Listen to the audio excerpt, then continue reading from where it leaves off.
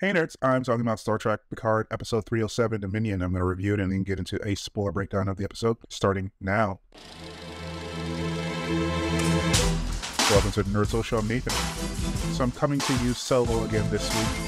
If you've been following the reviews, we got some advanced screeners from Paramount, the first six episodes, and we didn't get the last two until recently, so we weren't able to coordinate this recording. But Condra and David will join me for the review of episode 8 because we do have that one. All right, so the spoiler free logline for this episode is Crippled, Cornered, and Out of Options. Picard stages a gambit to trap Vadic and reveal her true motive, a gamble that puts the Titan in the crosshairs and forces Picard and Beverly to question every moral code they've ever held. So, this is written by Deborah Kampmeier and directed by Jay Maggs. So I think this is a really good episode. I have some qualms with some things that happen in the second scene in the first act, but besides that ding and some things later on in the episode that probably they expect to hit harder than they actually did, I think this is a really great episode. And the really the reason that this is a really great episode is Vadic, as is mentioned in the log line of this episode. She's the MVP of the episode, followed after that by Brent Spiner, I won't get into who he's playing in this episode because if you saw the previous episode, he's inhabiting many characters. So uh, Amanda Plummer and Brent Spiner in this episode have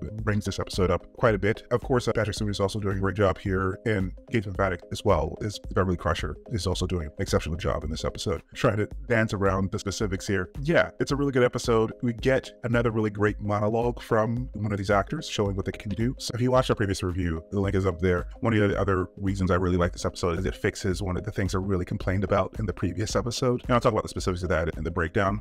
But yeah, I'm glad that was resolved or that was explained in this episode or explained in a way it, it wasn't as closed as uh, presented in the previous episode. All right, so all in all, I think in our rating system, I would give this a movie marathon, which is a nine on our scale. So I can't give it the top marks because, I, like I said, I dinged it a little bit for something that's happening in the beginning of the episode that, that's a little bit annoying to me. But I even forgot to mention that there's a surprise cameo that was a very, very pleasant at the very beginning of this episode as well. But like I said, Amanda Plummer's like hitting it out of park in this episode. And some really good writing for the most part in this episode. So I, really enjoyed it. All right, so I can't really talk about the episode anymore without uh, actually talking about the specifics. So if you're enjoying the review, please like, share, and subscribe. It really helps our channel out. We really appreciate it. Um, and with that, spoilers ahead.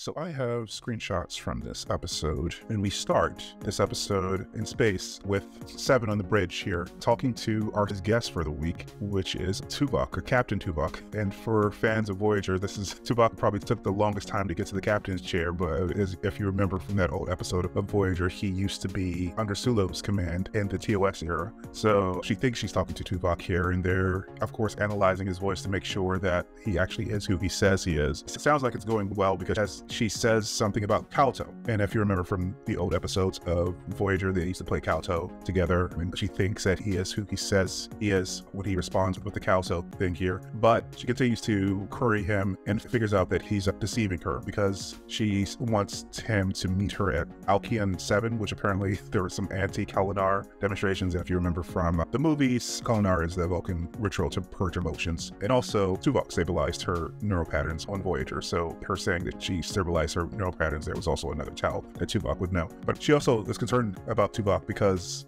the information that this changeling has, she could he could only have gotten from Tuvok, so he's really concerned about him. One of the things that the changeling says is, "All I can tell you is when we are done with him, we are done with all of you, death will come as a relief." And then the admiral asks about Will, and of course he says that he's dead, just like all of you. So they're on their own, and, and that's how the, the episode starts with the teaser. All right, so Act One of this episode, basically doing a debrief, and I guess Worf is out of this episode because he's looking for Riker, as he said he was going to do at the end of the last episode. Picard asks Geordi about Worf, who says that there's no mention of Will in custody. And then in this conversation, Beverly mentions that she's wearing the morality of something, specifically targeting the changelings. And she's concerned that it would be tantamount to genocide. And Picard is, we need to just cross that bridge when we get to it and see if there's actually anything to weigh if you find something. And then they suggest that the changelings want to get Jack's DNA to have a replica of Picard for Frontier Day. Of course, to get more information, they want to go to Lore. This is the scene that I had a bit of trouble trouble with. It is just reiterating everything that we heard at the end of the last episode.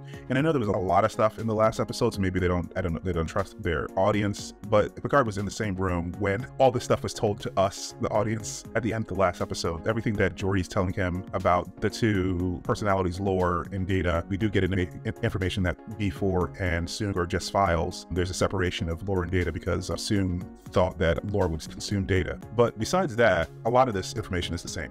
What saves this scene is Brent Spiner's performance here as Lore, calling Picard old here, and Alandra pointing out, has he always been so arch that what he says to her, I guess it's lampshading? A bit the fact that Lore has always been a, a bit over the top, but his response when you're constantly subjected to these self-righteous self proclaimed heroes spewing their morality as F vomit was somehow virtuous, then sometimes, my dear, a little bend, a little arch, a little antagonizing flair is required. Of course, I did not perform that nearly as well as Brent Spiner. So, anyway, Geordi surmises that perhaps Soong thought that he could integrate the two personalities and become what Data always wanted human, because Picard asked why would he do this. The other thing that we get out of the scene is that Data knows that there was an indication that the anomaly inside of Picard might not have been Irumodic syndrome, might have been something else. And this this is pointing to one of the issues that I had with the previous episode being Jack that has been resolved in this episode, which is another reason why I like this episode so much. And Data also asks for help in this scene as well. And Picard mentions that he asked to die several years ago so he could die in peace. So he's conflicted by this. So the next thing we have Vadic on the Shrike being threatened by what the credits call the face. We still don't know who this person is, and we need to know who this person is soon because he's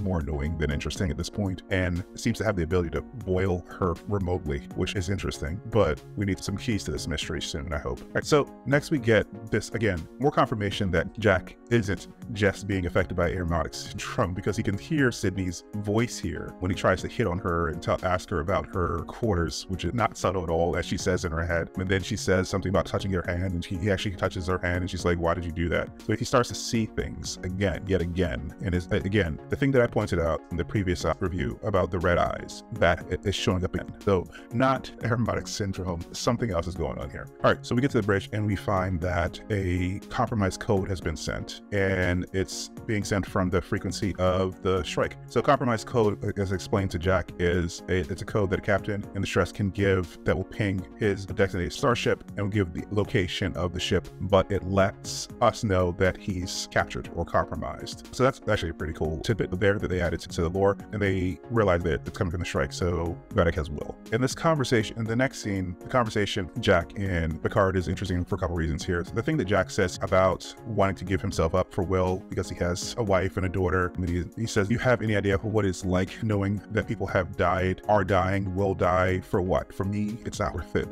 I'm not worth it." Also mentions here that he still feels like something's wrong with him. The other shoe hasn't really dropped, but we see a bit more of the weirdness with him later on in this episode. But at the end of the scene, Picard seems to have a plan to draw Vadic out, as alluded to in the spoiler-free logline. So in the second act here, Vadic is on the bridge of her ship and she thinks that she has the Titan, but her second in command, her lieutenant here, thinks that it's a trap, but she's under pressure to show results to the face. So she is going to go in. The other thing that I found interesting here is that she said not to use the transporters, which is another thing, if you remember two episodes ago, that Rose said that she didn't want to use transporters. They're sending over a shuttle of security officers. Shuttle? Something wrong with their transporters? Apparently, the security officer is insisting on a shuttle. I, I don't even trust the transporters on the ship. There have been fleet-wide issues for months. So there's something going on with the transporters. If you remember a couple episodes back, Jack, when he saw people transporting, he saw those red vines as well. So there's something going on with the transporters. And I don't know if the face and his people can get to her when they transport, don't know. But anyway, they take a shuttle to the ship and they encounter Jack in the hallway here. And she says to him that I just want to take you to a better place. And he's like, how does that mean? So this whole sequence is just them trying to trap Vadic. There's not much dialogue here, just running around and they get her trapped and they are forced into a bit of a trap themselves while trapping her underlings. Sydney and Jack here. So then Geordi tries to transport them out and they are locked out of the system by Lore. So as you might have expected, he's an agent of chaos and he wants to throw a wrench into their plan. All right, act three now. This is the best act of the episode. This is really where Vadic gets to shine, where Amanda Plummer gets to shine. She calls Beverly's bluff when Beverly tries to bluster about taking an oath not to do any harm, but she's seriously reconsidering it back. So there's the good cop, bad cop, basically. So she's bored. Just funny. Man Plummer's great in this episode. So the couple tidbits here. Beverly says that we know all about your evolved physiology, and Vadic says, "What about your son? Do you know all about his physiology?" Again, another interesting tidbit there that is not really explored in this episode. And Vadic also lets them know that Jack isn't for her. He also mentions that that we could bond over that because he never was for you either. So again, more mysteries here about who the face is and how he's connected to Jack. The really good meat of this episode is her talking about why she wants her vengeance. She says, "Don't compare atrocities committed by your side to the warfare executed by mine." She says that they were barely out of the gates of war and the Federation turned to genocide. And Picard says that they gave them a cure. Vadic says it's very cute. That's what your history books say. But one of their own had to take the cure, and of course she's talking about Odo. Really, what happened was that Dr. Bashir got the cure from Sloan and then gave it to Odo, and then Odo gave it to the Link. So she's missing a couple points there, but she is correct in that they voted not to give them the cure. So again, she's justified here